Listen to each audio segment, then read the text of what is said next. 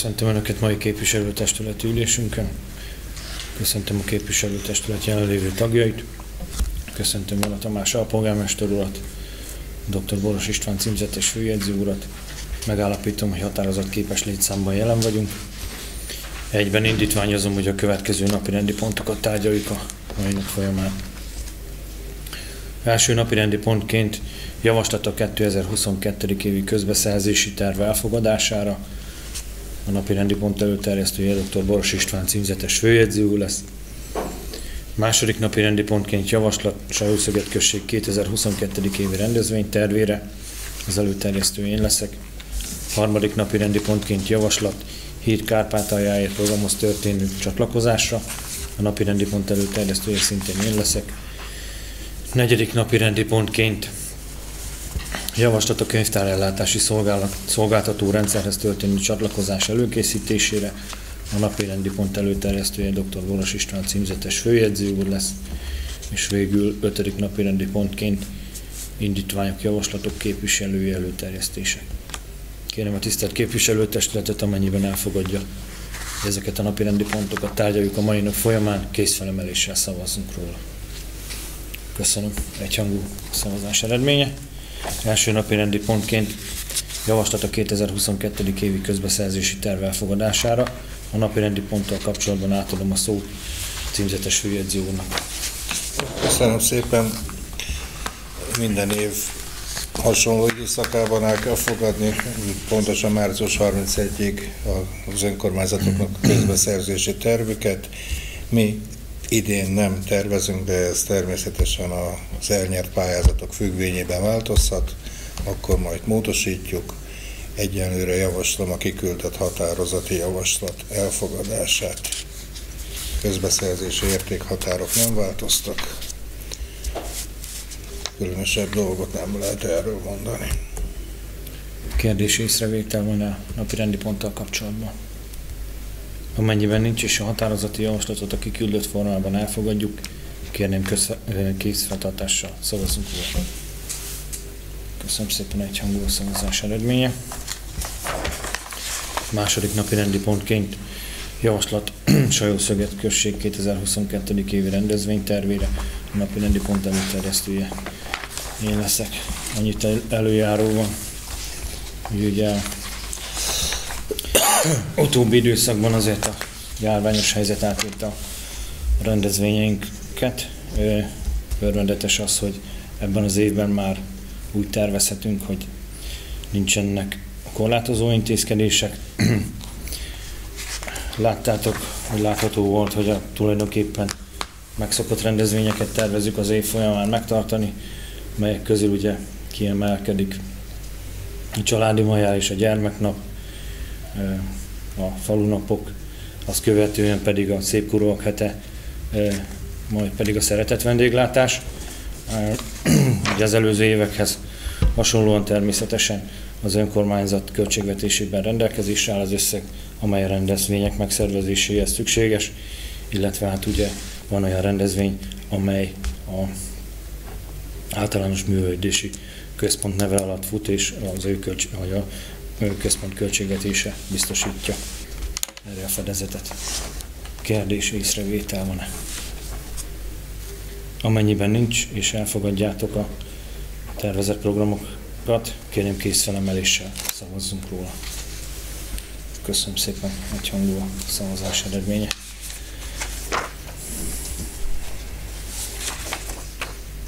A harmadik napi rendi pontunk következik. Javaslat a hét Kárpátaljáért programhoz történő csatlakozásra.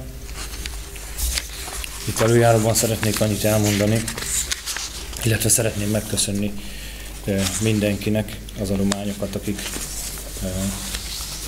hozzájárultak a háború áldozatai megsegítéséhez. Legjobb tudomásom szerint az általunk összegyűjtött adományok eljutottak a gyűjtőhelyre, és onnan már a rászorultakhoz is időközben. Még egyszer köszönöm szépen mindenkinek. És hát ugye indítványoznám azt, hogy csatlakozzunk a híd Kárpátaljáért segédakcióhoz, és 200 ezer forint támogatást, azaz 200 ezer forint támogatást nyújtsunk erre a mm, célra. Kérdés észrevétel van ezzel kapcsolatban. Bizottságtárgya. Amennyiben nincs, és elfogadjátok, hogy csatlakozzunk a Hit Kárpátaljáért segélyakcióhoz, és 200 ezer forinttal támogassuk az akciót, kérem kész felemeléssel szavazzunk róla. Köszönöm szépen. Egyhangú a szavazás eredménye. A negyedik napi rendi pontunk következik. Javaslat a könyvtárellátási szolgáltató rendszerhez történő csatlakozás előkészítésére. A napi rendi ponttal kapcsolatban átadom a szót címzetes főjegyzővonal. Köszönöm szépen. Hát, ő, véleményem szerint elég részletes előterjesztést kaptak a képviselők.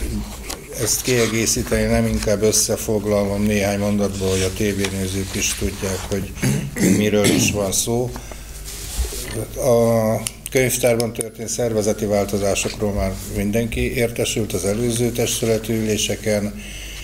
Itt ennek az a lényege, hogy nyilvános könyvtárat, a nyilvános könyvtárak jegyzékében szereplő könyvtárat kötelező feladatként csak az 5000 feletti önkormányzatoknak kell fenntartaniuk. Tehát nekünk fölösleges ezt önerőből finanszírozni, vállalni a pluszköltséget, mert a hozzánk hasonló, sőt tőlünk jóval nagyobb önkormányzatok is ehhez a KSR rendszerhez csatlakoztak.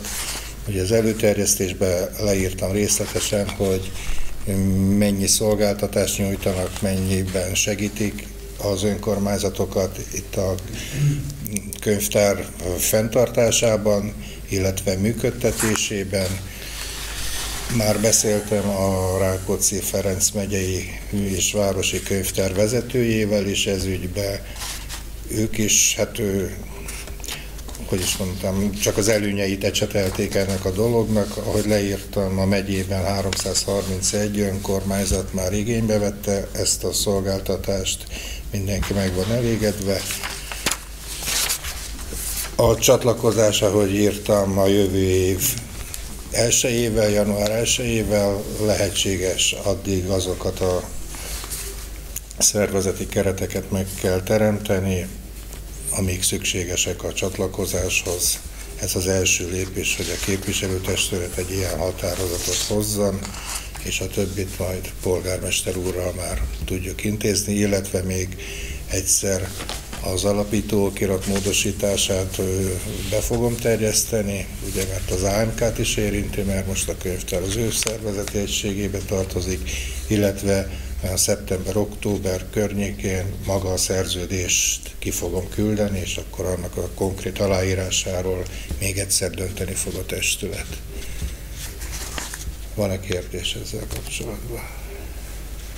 Tessék, a polgármester. Tisztelten köszöntök mindenkit. Akkor azt ugye jegyző úgy kell értelmezni, hogy a, hogyha megváltozik majd a, a rendszer, akkor a művelődési ház és a könyvtár az most már külön válik. Igen. Tehát a művelődési ház az marad az AMK-nál. Igen, az AMK-nál, és a könyvtár meg már nem az AMK-nál lesz, hanem az, az egy külön egység lesz majd. Így van. Ez könyvtár ellátási szolgáltató rendszer, ez egy önálló rendszer, ami a hasonló önkormányzatok és a megyei könyvtár vezetésével működtetik közösen. A költségvetésünkben továbbra is megvan, a könyvtárnak, hogy láttam, lesznek. A normatívát ugyanúgy megkapjuk, uh-huh. a közművelődési normatívát nem érinti, gyakorlatilag ezen csak nyerünk, spórolunk, egyszerűsödik az egész, nem kell felsőfokú végzettséggel rendelkező, szakirányú végzettséggel rendelkező könyvtárost alkalmazni. A könyvbeszerzéseket nem mi fogjuk intézni, de létszámában nem fog lecsökkenni, és annyi, hogy a mostantól beszerzett könyvek nem mennek át a könyvtár tulajdonába, hanem letétben lesznek itt. Tehát ez szerintem egy kölcsönzőt az különösebben nem érinti.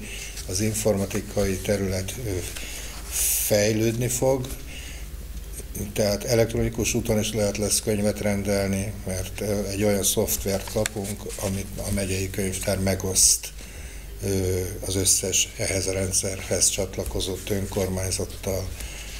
aki be van iratkozva, az ezen keresztül ezt már tudja használni, már mint a megyei könyvtárba, úgyhogy annak ismerős lesz, aki nem, csak ide, az is el tudja majd intézni, hogy elektronikus úton jelentkezzen a megyei könyvtárba, és ott is tud kölcsönözni elektronikus úton folyóiratott könyveket. Köszönöm. Kérdés észrevétel? Van még a képviselők most Akkor amennyiben nincs is a határozati javaslatot, a kiküldött formában elfogadjuk, kérem kész felemeléssel szavazzunk fel. Köszönöm szépen, hogy a szavazás eredménye. Neked van. Hát ezt, ezt te mondod. Jó, ezt Ötödik napi rendi pontként következik indítványok javaslatok képviselői előterjesztése.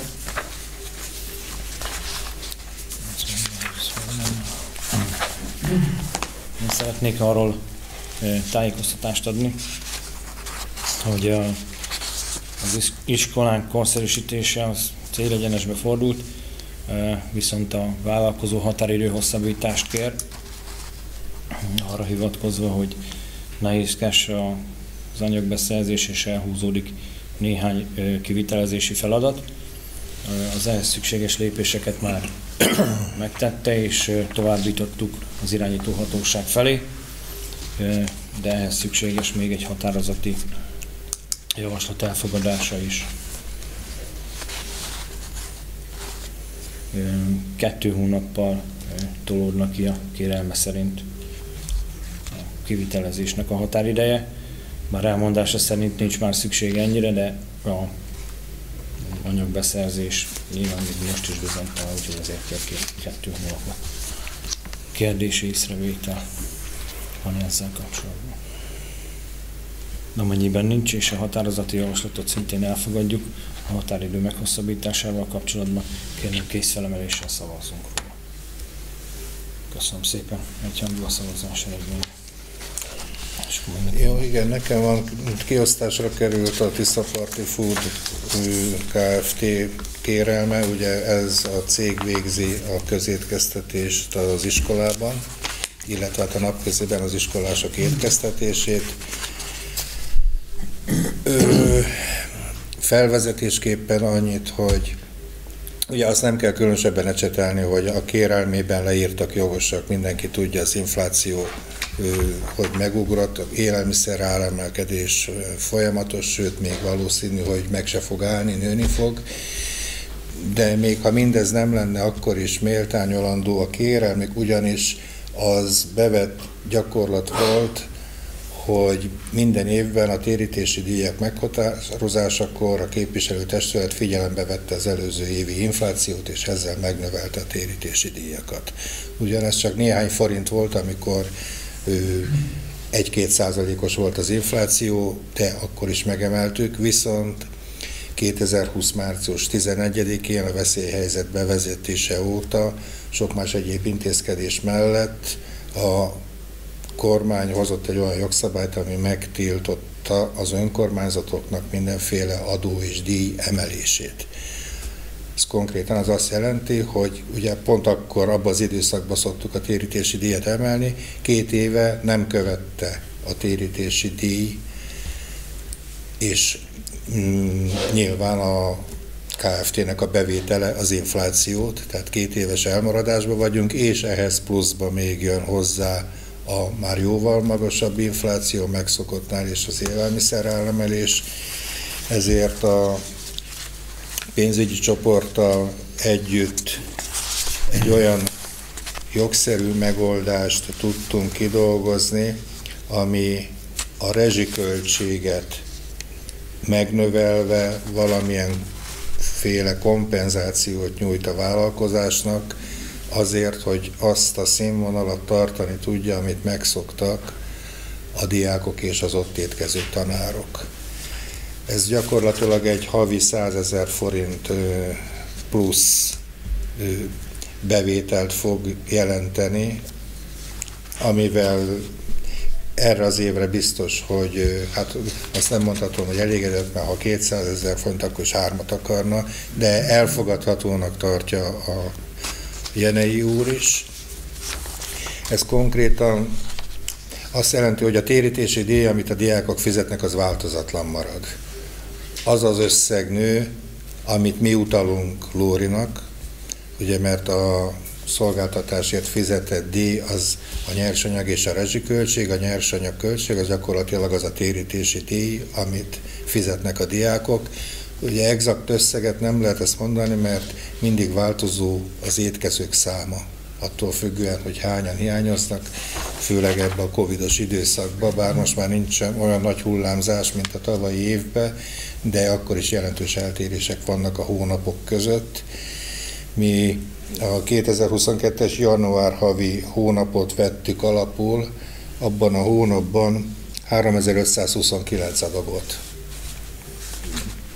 főzött a közétkeztetésre a KFT, úgyhogy egy pár forint is azért jelentős bevételt jelent.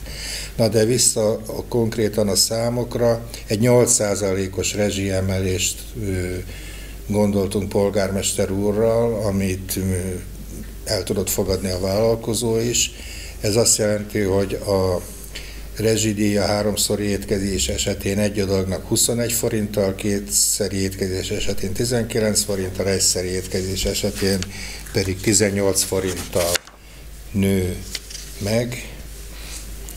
Úgyhogy e, részleteiben ezt tartalmazza az a határozati javaslat, amit kiosztottunk, és amit elfogadásra javaslok a képviselőtestületnek.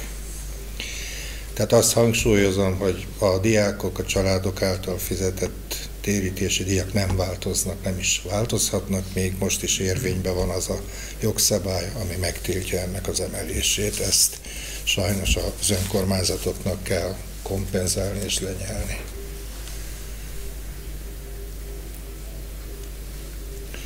Kérdés?